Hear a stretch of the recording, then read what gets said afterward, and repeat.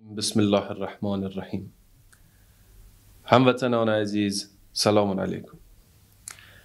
در ابتدا درود میفرستم بر روان پاک همه شهدای افغانستان علل خصوص شهدای سال اخیر که چه در قالب مقاومت ملی اردوی ملی پلیس ملی امنیت ملی و چه مردم عزیزمون که جانهای خود را از دست دادن به خاطر عزت و آزادی افغانستان به روحشان درود میفرستم و به بازماندگانشان صبر جمیل استدعا دارم.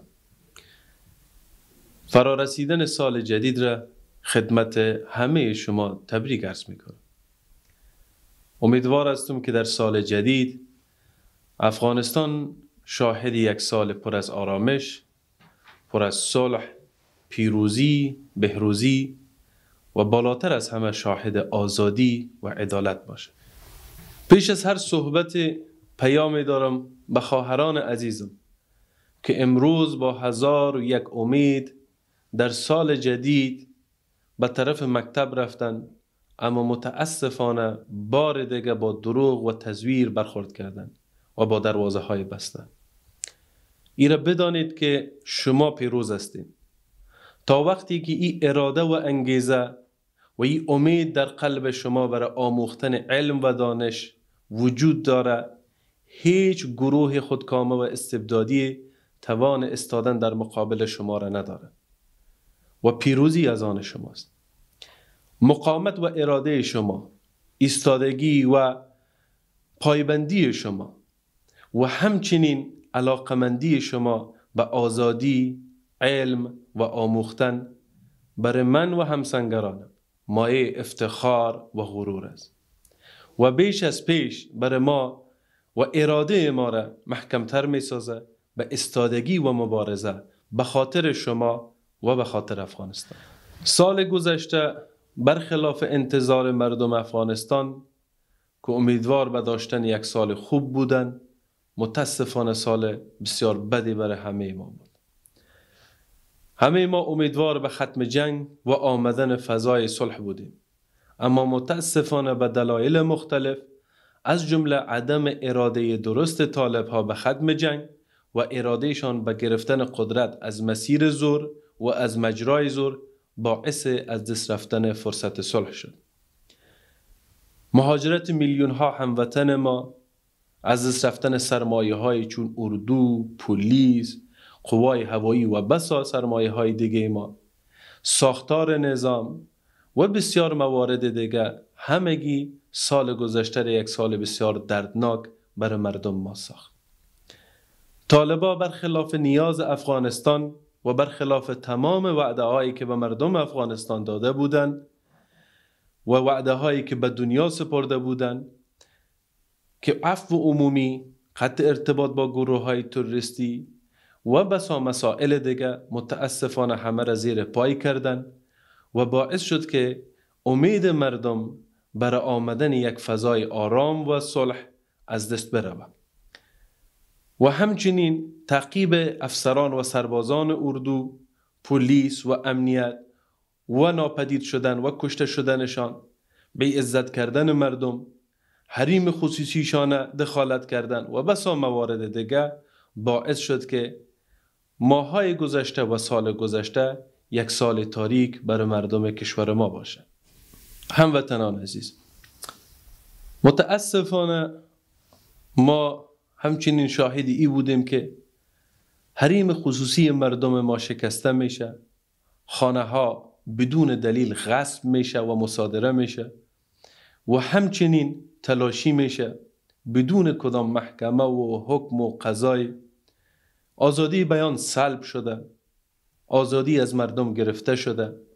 اهل رسانه که قشر مهم جامعه ماستن به شدیدترین نوع متاسفانه سرکوب میشن. و همچنین نیروی کدری توانمند ما به دلیل عدم موجودیت امید در کشور با آمدن فضای موجود کشور را ترک می‌کنند همه و همه باعث شده که چهره واقعی طالب ها روز به روز بیشتر روشن شود. و همچنین تنها دستاوردی که به قول خودشان امنیت است و حرفشان همیسته که سال گذشته چه مقدار انسان کشته می‌شد امسال نمی‌شد متاسفانه مسبب امی مثلا خود طالبا بودند که در سالیان گذشته و دهه های گذشته باعث اصلی کشتار مردم بیگناه افغانستان از جمله زن و کودک و پیر و جوان افغانستان بودند.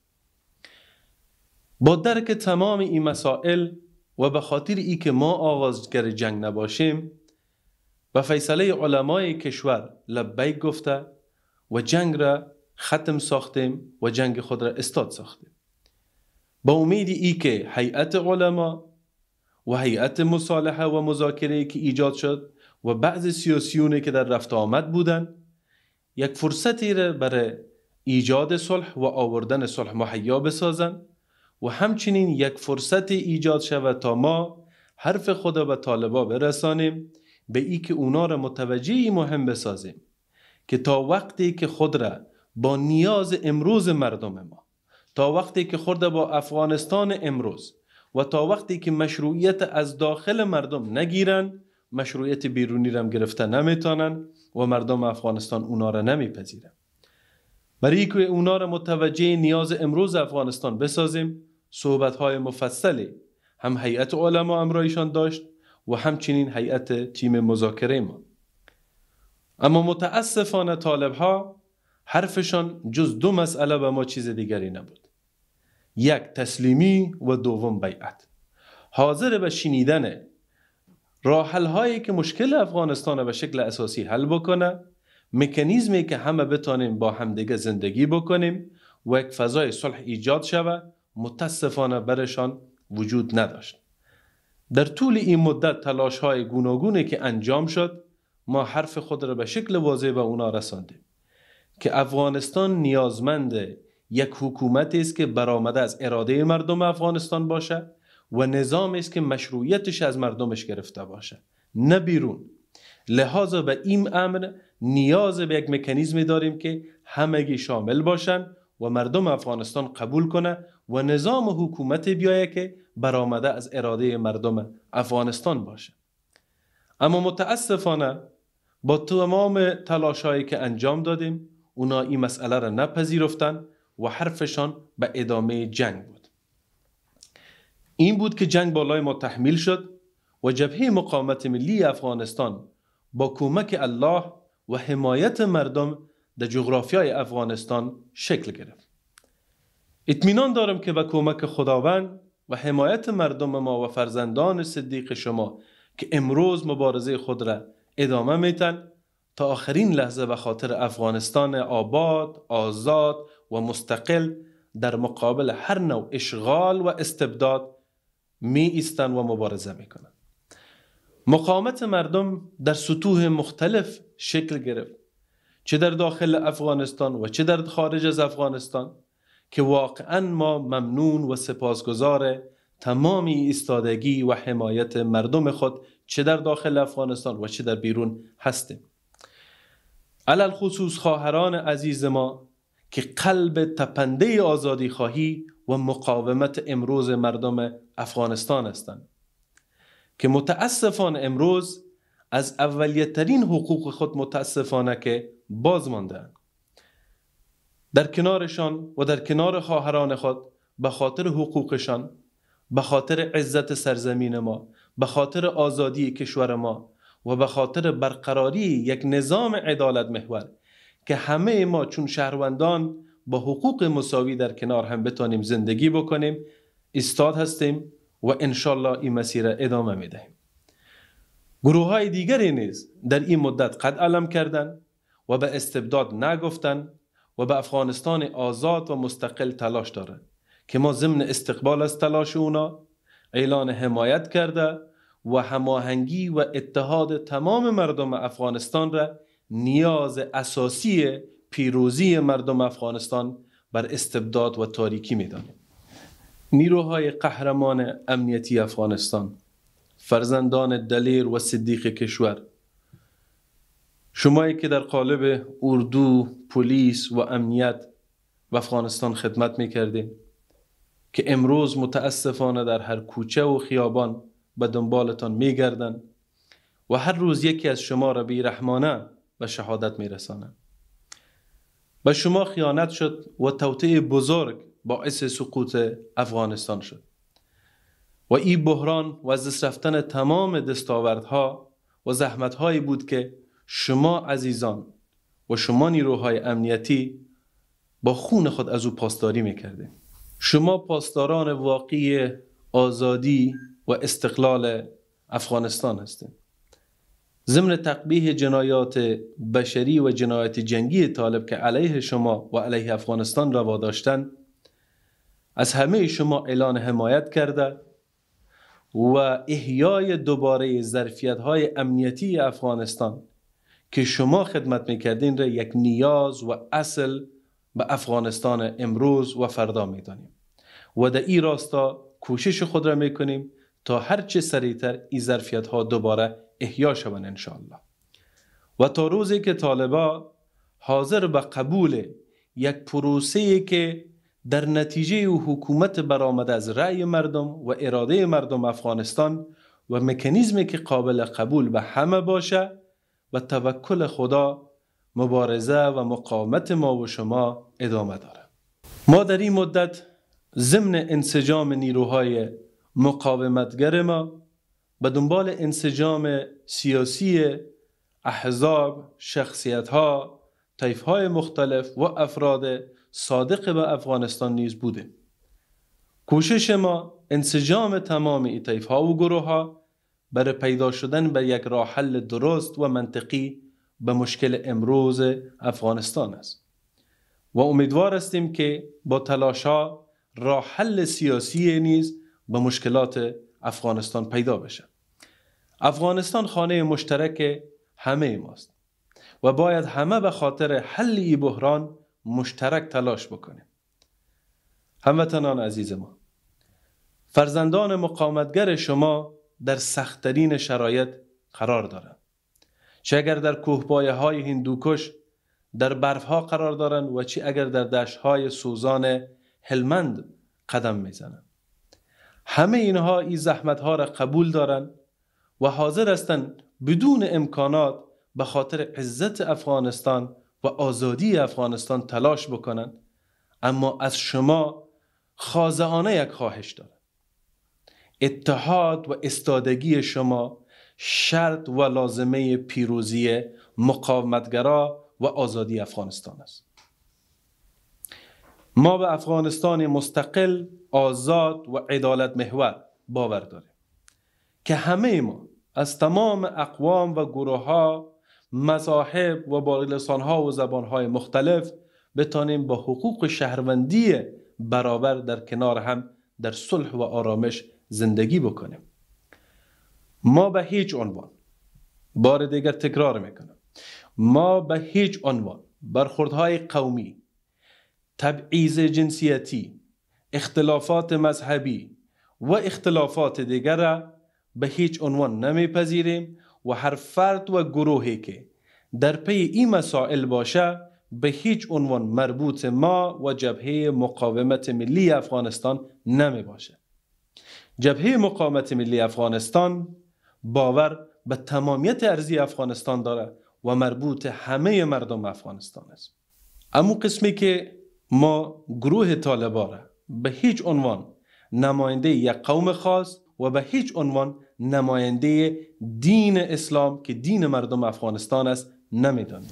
علمای کرام و بزرگوار کشور شما شاهدی این بودین که هر باری که علما فیصله نمودن ما به فیصله علما لبیک گفته و همیشه از تصمیمشان حمایت کردیم و خواهد کردیم.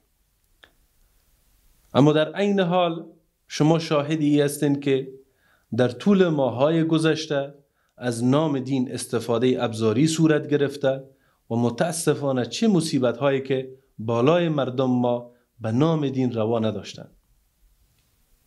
از زندان کردن ها و بازداشت ها تا قتل ها و کشتار ها بدون محکمه بدون قضا تا دستگیری بانوان و دخترها که ناموس سرزمین ما هستند توسط طالب ها شبا هنگام به خانه های مردم رفتن مردم بیگناه را تلاشی و بازداشت کردن خانه هایشان چور و نابود کردن تمام این مسائل زیر نام دین طبعات سنگین خواهد داشت.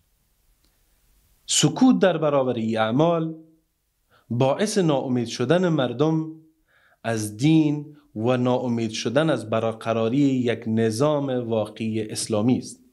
که به خاطرش مردم مسلمان افغانستان ده هاست مبارزه می‌کنن زحمت می‌کشن و شهید میدن. مثال های زیادی وجود داره که استفاده ابزاری برای حکومت کردن و تطبیق سیاست ها باعث دوری مردم از اصل دین شده و باعث ناامید شدن مردم در دنیا برای تطبیق یک حکومت واقعی اسلامی شده. پس تقاضایم از علمای کشور این است که در مقابل چنین جنایات و در مقابل چنین استفاده های سو از دین و استفاده ابزاری از دین سکوت نکنند تا سب و روز پیش خدا و پیش شهدا مسئول نباشیم. علمای کرام ای چه نوع دین و چه نوع آین و چه نوع فرهنگ است؟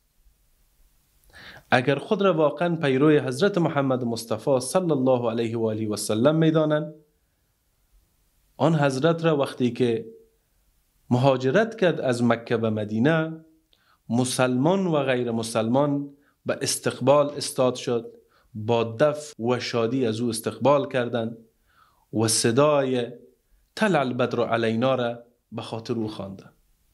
اما در این طرف هموطنا و مسلمانا از ترس و از نگرانی فرار می‌کنن میکوچن میلیون ها نفر آواره میشه و حاضر هستند از تیاره ها اویزان شوند و از مترها به زمین بیفتن اما حاضر نیستن زیر ای چتر زندگی بکنن و با این قسم نوع حکومت و نوع سیاست پیش برن. خود قضاوت بکنیم. آیا این شیوه محمد مصطفی است؟ این شیوه دین است؟ اگر نیست امروز باید صدای خود بلند بکنیم. امروز باید در کنار مردم خود قرار بگیریم. تا خدای ناخواسته آرمان شهدا آرمان مردم ما برای تطبیق یک حکومت واقعی اسلامی اعتدالی که آرزوی ما و هدف ماست انشالله نائل بیاییم. ما شاهد این هم هستیم که برخلاف وعده طالبا به قطع همکاری با گروه های تروریستی نه تنها این اتفاق نیفتاد بلکه امروز افغانستان کشور عزیز ما خانه امن دوباره به تروریست های جهانی تبدیل شده. ما اطلاعات دقیق و گزارش های دقیق داریم که در پرتوی حمایت طالب گروه های تروریستی چون القاعده مراکز آموزشی خود را گسترش سربازگیری خود بیشتر و همچنین فعالیت های خود را گسترده ساخته. و تبدیل شدن افغانستان به همچنین یک پایگاه امن و تروریسم خطر جدی به منطقه خطر جدی به دنیا داره.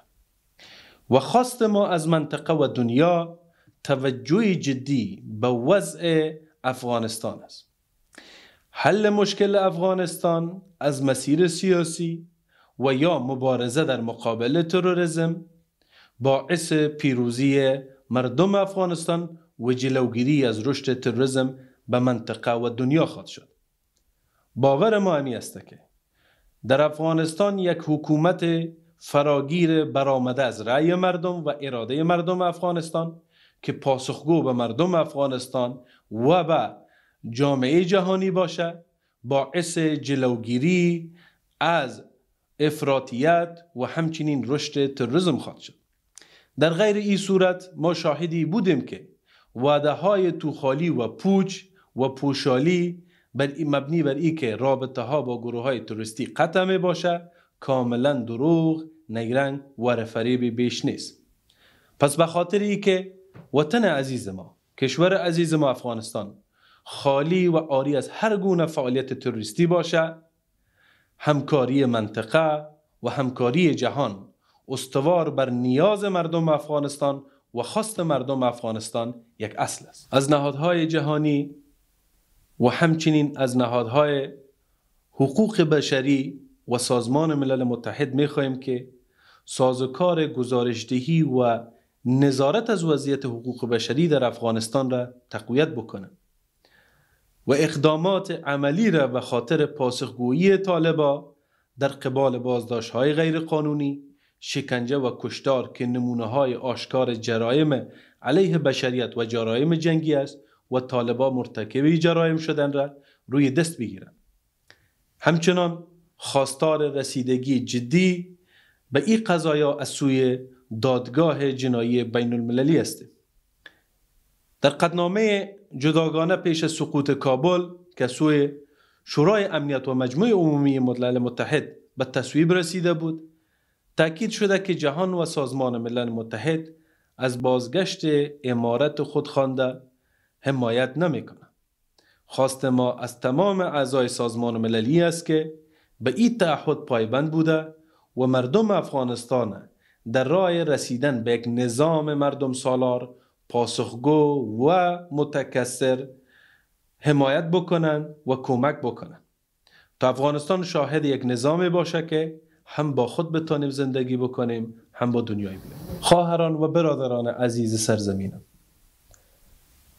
برای نجات افغانستان ای کشور آبایی و اجدادی ما و ای خانه زیبای مشترک ما از این گرداب مرگ و زندگی از گوشه گوشه افغانستان از تمام اقوام افغانستان و از تمام مردم با عزت سرزمین ما خواهشمند هستم که متحد و یکجا استاد شوند و کشور خود را نجات بدن نجات افغانستان فقط و فقط توسط همه ما صورت می‌گیره و مقاومت مربوط تک تک مردم افغانستان از هر گوشه ای سرزمین است.